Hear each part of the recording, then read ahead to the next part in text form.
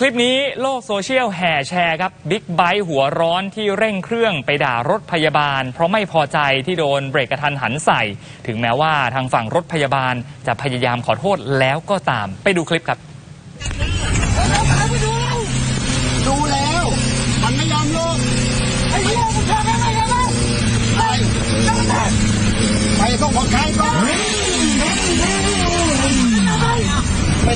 เป็นเหตุการณ์ขณะที่รถพยาบาลกำลังเร่งนำคนป่วยไปส่งรักษานะครับ แต่ว่ามีมอเตอร์ไซค์บิ๊กไบค์พยายามเร่งเครื่องตามครับ พร้อมกับอย่างที่เห็นนะครับเบิ้ลเครื่องเสียงดังหลายครั้งเพราะว่าไม่พอใจ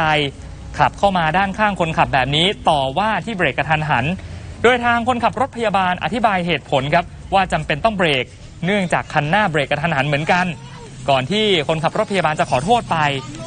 หลังจากโพสต์นี้ถูกแชร์ออกไปนะครับก็ได้รับความสนใจจากชาวโซเชียลเป็นจำนวนมาก ซึ่งส่วนมากมองว่าเป็นเรื่องที่ไม่ถูกต้องที่บิ๊กไบค์มาเร่งเครื่องใส่รถพยาบาลแบบนี้ เพราะทางคนขับรถพยาบาลก็ขอโทษไปแล้ว ทางบิ๊กไบค์ควรจะฟังเหตุผลกันบ้าง ควรมีสติและเหตุผลมากกว่านี้ ไม่ควรมาหาเรื่องเจ้าหน้าที่ที่กำลังปฏิบัติหน้าที่นำผู้ป่วยส่งโรงพยาบาลอยู่นะครับ